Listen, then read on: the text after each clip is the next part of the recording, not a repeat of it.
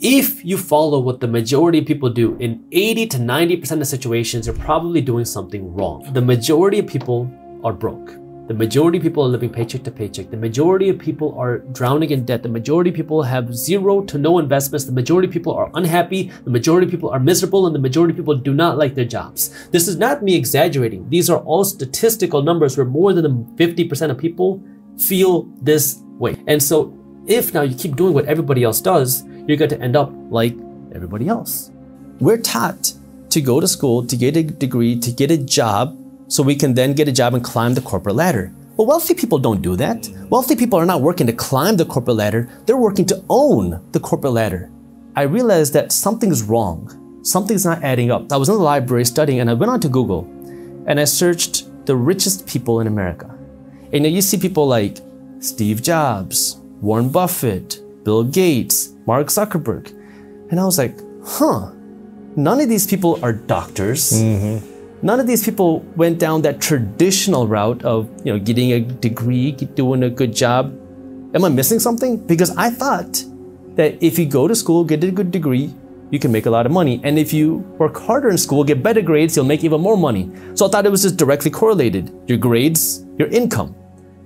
And that's when I started questioning things. And I realized, oh, maybe this isn't right. And as you start to go down deeper and deeper down the rabbit mm-hmm. hole, you start to realize, oh my God, everything that I've been told is a lie. Right. Most of us are taught to get that degree so we can do one thing climb the corporate ladder, get, earn a bigger salary. But if you only rely on your salary, you're just one step away from being broke. Because if you lose your job, something happens to you, you can't work, or your company goes down, you lost your salary and now you have no income coming in and now what? And now you're trying to figure out how do you make things work? And by then it's too late. This is where you got to be mm-hmm. proactive. And now i'm just like this is crazy. Why was i never taught this? Mm. i was never mm. taught about wealth. I was never taught about investing. I was never taught about this sort of financial education. But why aren't we taught this? And that's when i realized it's very profitable to keep people financially uneducated. It's mm. profitable to keep people poor and so this is where now you want to think a little bit different and try to find what's right for you and start to get educated yourself. Because when it comes to the mindset, the first thing you have to understand is that it is possible. Because if you're sitting there saying it's not possible for someone like me, somebody who has my background, my parents, my whatever, I can't become successful, I 100% guarantee that you will not be able to become successful. You cannot change your outcome without changing your mindset. Most of the times we assume that the reason why we can't become successful is because we lack the tool set, when in reality, for 90% of people, it's lacking the right mindset. Because when you have the right mindset, you'll discover that the tool set is right around you. So it's first believing that you can do it. Because once you know and believe that you can do it, that belief is going to then impact your decisions. Because now if you say, you know what, yeah, maybe I can become successful. What are you gonna do? You're gonna go onto YouTube, watch videos. How do I become successful? Then you start watching videos. And now you start to realize, oh, okay, I can start to do this. I can change this about my life. I need to change the way I think. I need to change my actions. I need to do more things in my day. I need to stop watching so much Netflix. I need to do this. Then maybe start reading books. And now you start reading business books. There's so much wealth in a $20 business book. Just go on to Audible, look at some of the top business books and just start reading them.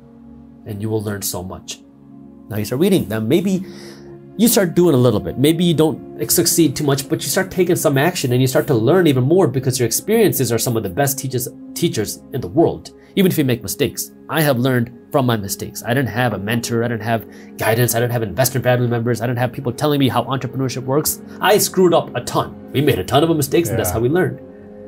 And then maybe you go and take a class now you're like, okay, I want to learn how to do this. I'm trying to build this business. I'm doing something wrong. I'm trying to get a better job or I'm trying to get a raise. I keep doing something wrong. You read books, now maybe you find a class. You invest some money in this class and now you have more education. Now you try more. And now you start to see over time, oh my God, 12 months ago, I had no idea. I didn't even believe that I can do it. Now that I believe that I can do it, I started watching YouTube videos. I started reading books. I started taking classes. I started taking action. And then you keep doing it. Maybe you hire a coach, maybe you hire a consultant. I mean, yeah. it, the list goes on and on and on of what you can do, but it all first starts with the mindset because if you tell yourself you can't, your mind shuts down and you're never going to find an opportunity. You're never going to look for the opportunity.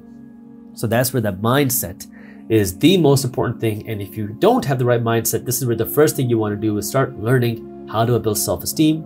How do I build my confidence? How do I believe in myself?